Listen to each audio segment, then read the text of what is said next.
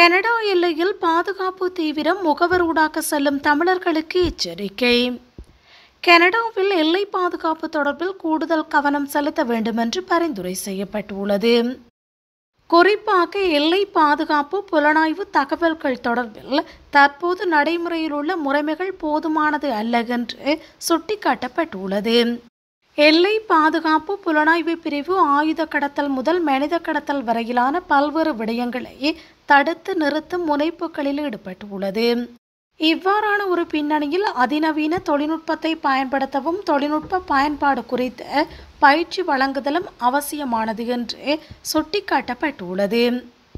புலனாய்வு தகவல்களை திரட்டுதல் மற்றும் அவற்றை ஆய்வுக்குட்படுத்தல் ஆகிய நடவடிக்கைகளில் முன்னேற்றம் தேவைப்படுவதாகவும் நடைமுறையில் காணப்படும் வழிமுறைகள் மேம்படுத்தப்பட வேண்டுமென்றும் பரிந்துரைக்கப்பட்டுள்ளது.